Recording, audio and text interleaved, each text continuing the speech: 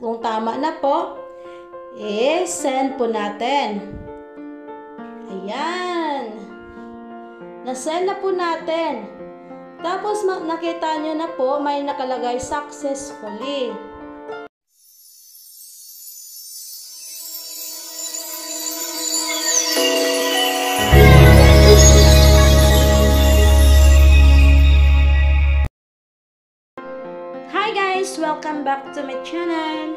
It's me, Arnes Vlog.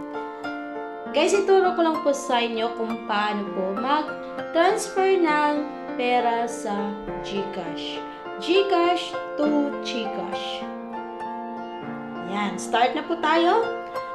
Ah, click lang po natin ang GCash apps. Ayan, ito po yung GCash apps natin. And then, syempre, i-click, i-click po natin yung, lagay natin yung ating password. Pagkatapos niyan, ayan, open na siya. And then, remind me later. Click mo lang yan.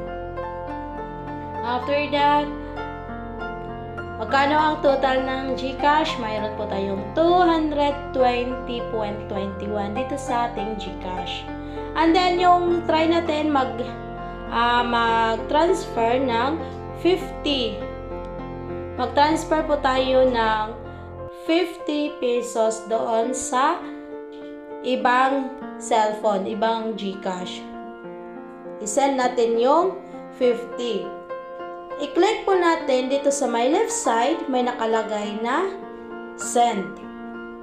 Ayan, i-click po natin ito. Ayan, nakita niyo po yan, may nakalagay express send, uh, send via QR, send with a clip, send pamasko. Dito po tayo sa my express send. Yan po ang i-click natin itong express send.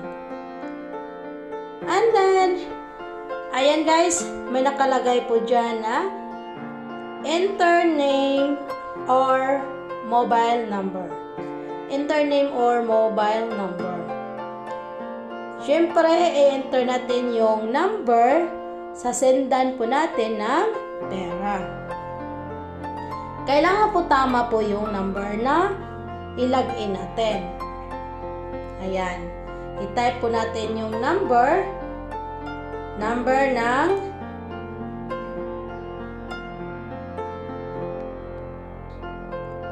number po ito ng GCash.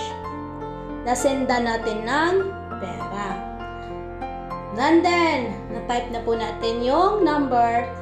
And then, may nakalagay po dyan na amount.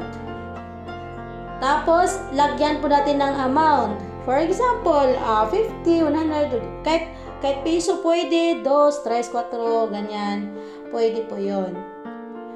Tapos, try natin is 50 pesos. Ayan. And then, i-click po natin itong check na sa baba. May nakalagay po dito sa baba na check. Ayan.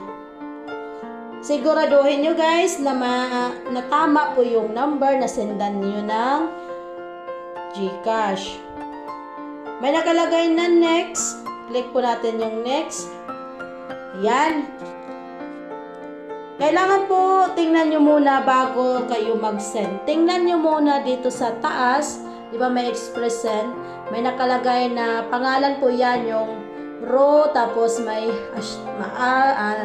asteres, asteres. Ano po yan? Yan po ang pangalan po ng sindan natin ng GCash. Siyempre, alam nyo, alam nyo naman yung pangalan, tapos hindi, di ba, hindi pinakita yung apat na letters. Kaya, alam niyo na po kung ano po yung unang letter or may nakalagay naman po sa first sa apelyido natin. Ay sasindan mo may first kung anong apelyido niya. May nakalagay po dyan. Kailangan pong tama po yun dyan. Pagkatapos niyan, kung tama, niya na, kung tama na po, eh, send po natin.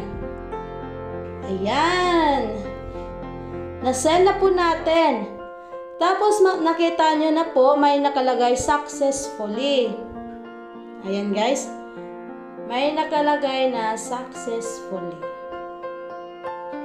Ayan.